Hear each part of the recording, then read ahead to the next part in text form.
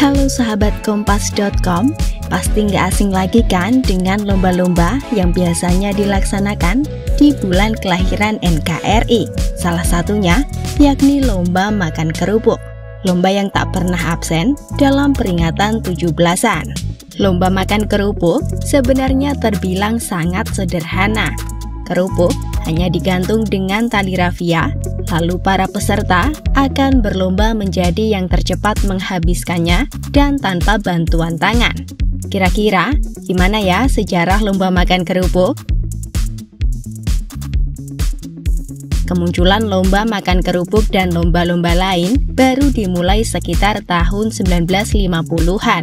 Menurut sejarawan Fadli Rahman, pada masa itu kondisi politik dan keamanan negara sudah relatif kondusif, berbeda dengan sebelum tahun 1950-an, di mana masih banyak peperangan yang mengharuskan masyarakat Indonesia mempertahankan kemerdekaan alih-alih merayakannya.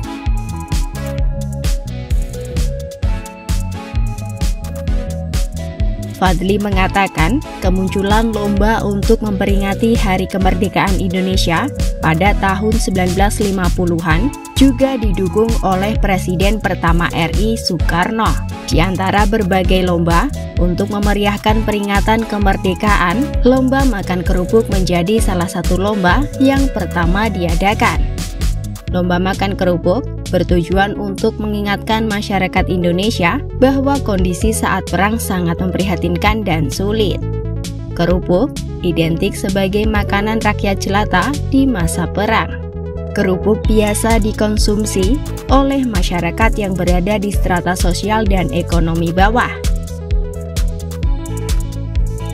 Tak hanya itu, kerupuk merupakan salah satu makanan tertua di Indonesia.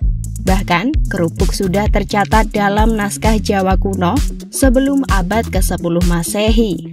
Kerupuk sudah menjadi makanan pendamping masyarakat kuno pada saat itu.